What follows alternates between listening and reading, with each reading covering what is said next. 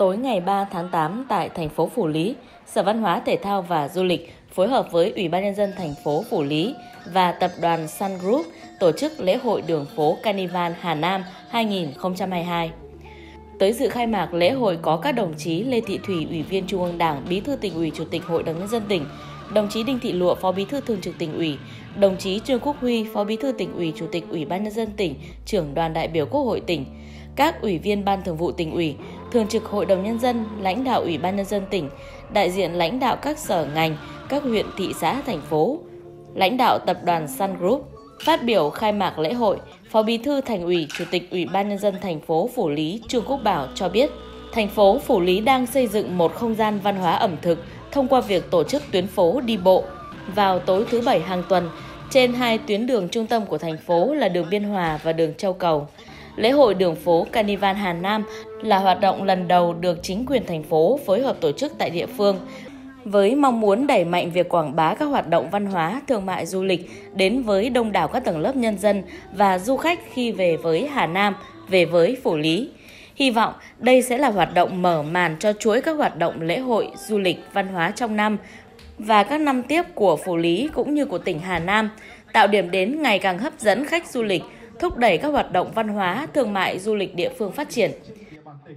Sau lễ khai mạc đúng 20 giờ, đoàn diễu hành gồm 6 xe mô hình cùng 80 vũ công Việt Nam và những vũ công đến từ nhiều quốc gia trên thế giới như Uzbekistan, Ukraine, Brazil, Moldova, Colombia, Cuba, Argentina và Georgia trong trang phục rực rỡ sắc màu đặc trưng của lễ hội đường phố với âm nhạc rộn rã đã diễu hành trên trục đường Biên Hòa, đoạn đường chính nằm trong trung tâm của thành phố Phủ Lý, tỉnh Hà Nam.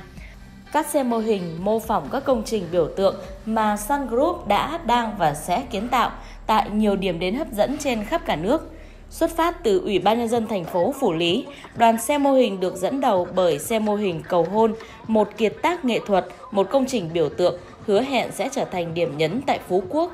Tiếp đến là xe mô hình cầu coi, góc check-in ấn tượng khi tới Hạ Long.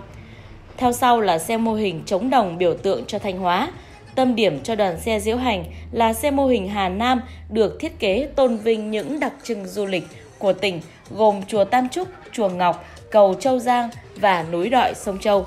Tiếp theo là xe mô hình đỉnh Phan Xipang với cột mốc 3.143m huyền thoại và xe mang biểu tượng cầu vàng của du lịch Đà Nẵng ở điểm kết của đoàn diễu hành.